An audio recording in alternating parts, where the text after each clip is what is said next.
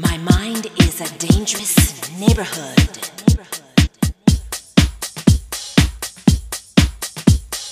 Don't go in